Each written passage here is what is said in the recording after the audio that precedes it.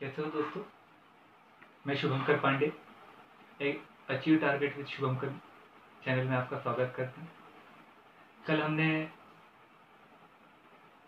Modern India की शुरुआत करी और मॉडर्न इंडिया की जब शुरुआत करी तो हमने वो पहला चैप्टर देखा। उस पहले चैप्टर का नाम हमने पढ़ा कि विदेशी कंपनियों का आगमन और उस विदेशी कंपनी के आगमन के विषय में जब हम पढ़ रहे थे तो उस विदेशी कंपनी के आगमन के कारण हमने पढ़े।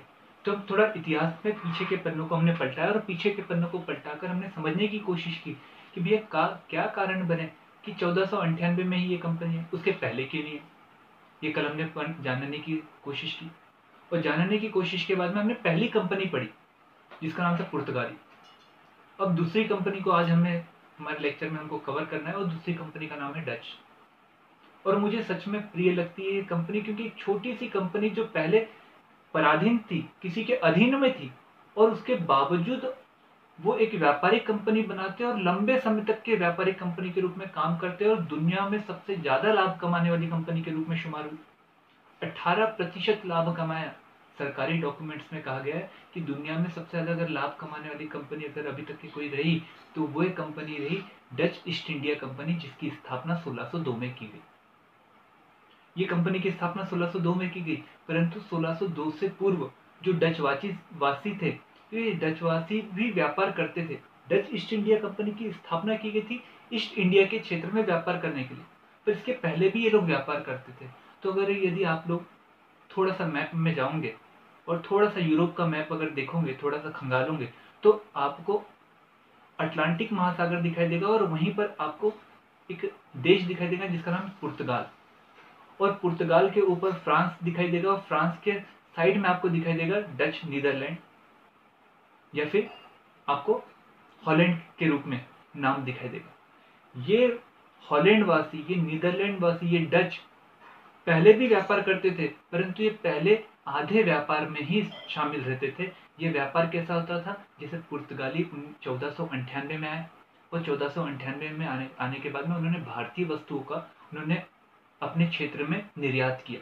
तो जब उन्होंने निर्यात किया तो वो वस्तु को लेकर जाते थे कहाँ पर? अपने क्षेत्र में, अपने देश में, और अपने देश में ले आकर रख देते थे। और रख देने के बाद में अन्य देश उन वस्तुओं को पुर्तगालियों से खरीदते थे, अपनी जगह पर लेकर जाते थे। ऐसा ही काम डचवासी करते थे। और डचवासी इस व्यापार को करने के बावजूद भी वो लाभ में थे।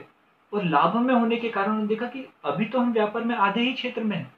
और आधे में क्षेत्र में हो जाने के बावजूद हम व्यापार कर रहे हैं और लाभ के रूप में व्यापार कर रहे हैं। यदि हम पूरा व्यापार एकाधिकार रूप में करेंगे तो कितना लाभ होगा? और इसी बात को ध्यान में रखकर 1602 में उन्होंने कंपनी की स्थापना की, जो एक सरकारी कंपनी थी।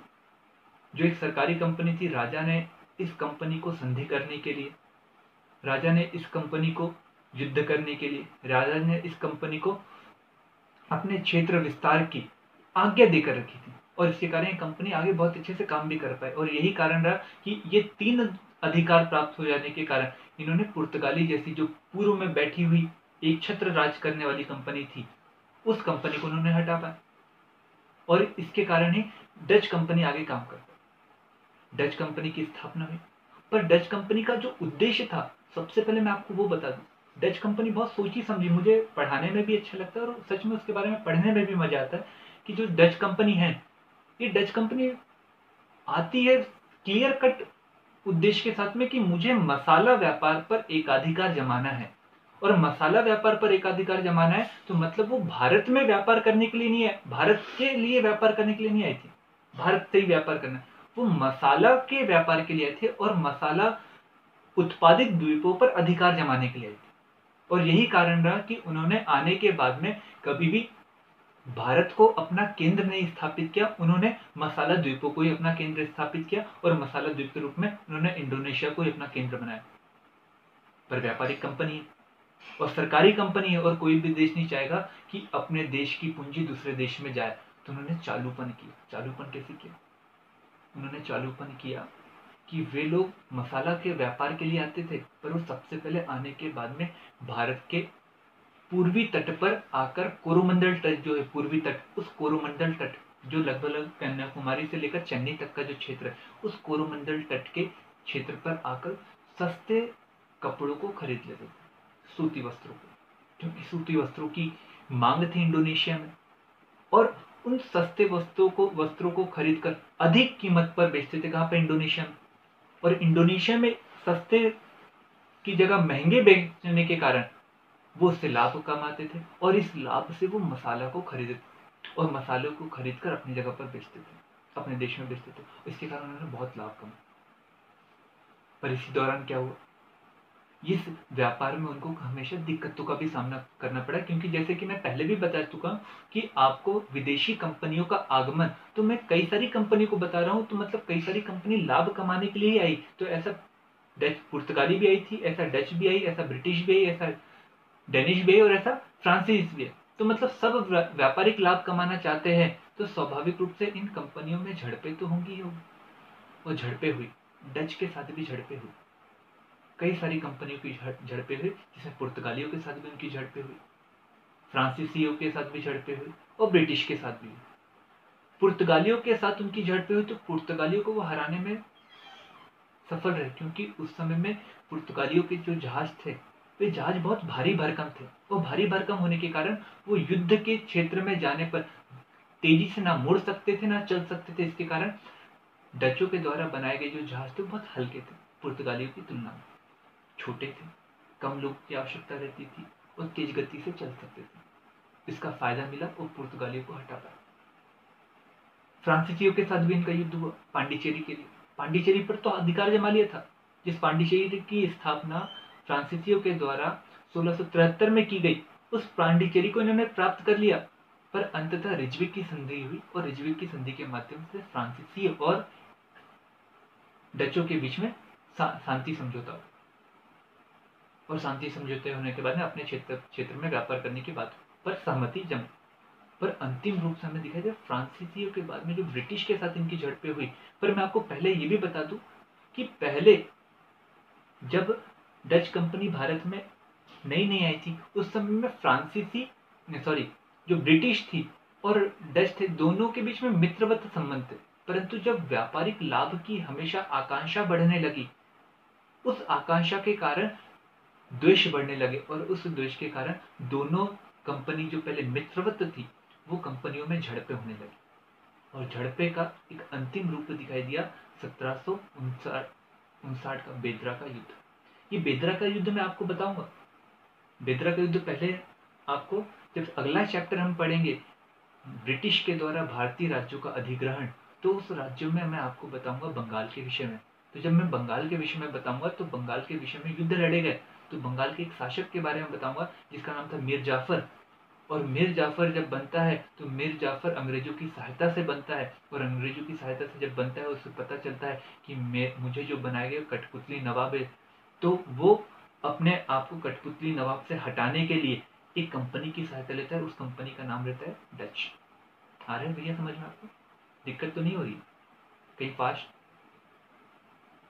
चलो, अच्छी बात है, समझ रहे हैं। थोड़ा रिपीट करके देखिएगा तो समझ में आएगा तो मीर जाफ़र एक कंपनी से सहायता लेता है ताकि ब्रिटिशों से वो अपने आप को छुड़ा सके।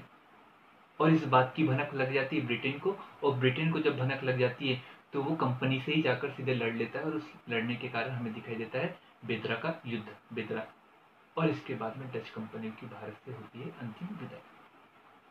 पर अब बात आती है कि डच कंपनियाँ, कोई भी कंपनी आती है भैया, कोई भी बाहर से आता है, कुछ ना कुछ देन देकर जाता है।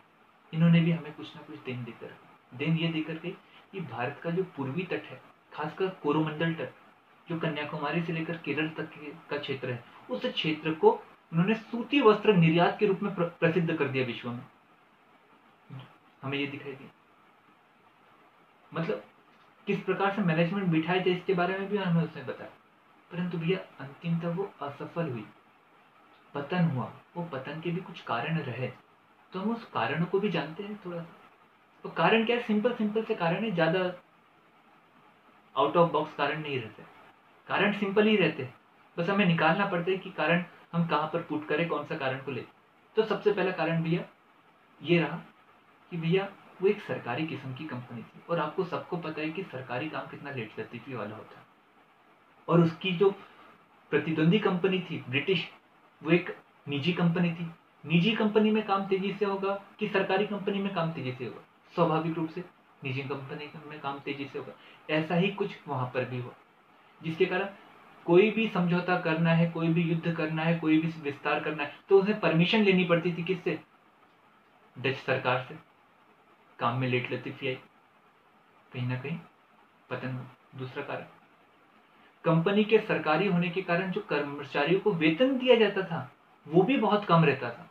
अब वो कम होने के कारण क्या हुआ कि भैया कंपनी के कर्मचारी कंपनी का व्यापार ना कर निजी व्यापार कर लेते थे। अब निजी व्यापार करेंगे तो कंपनी का तो बंटाधार हो गई ना। कंपनी की आर्थिक शक्ति बढ़ी नहीं, उसके कारण उसका क्या हुआ? पतन आ रहा है समझ में? ये दो कारण हम पतन के रूप में देखते कि ये प्रमुख रूप से दूर है। अब अगले लेक्चर में हम ब्रिटिश कंपनी डेनिश कंपनी ये दो कंपनियों को हम लेंगे। आपको अगर लेक्चर अच्छे लग रहे हो तो आप उसको और आगे जानकारी के लिए आप चैनल को सब्सक्राइब करिए। बेल आइकन भी दबाइए ताकि जो भी नोटिफिकेशन रहे, वो आपको समय समय पर मिलते रहे। Thank you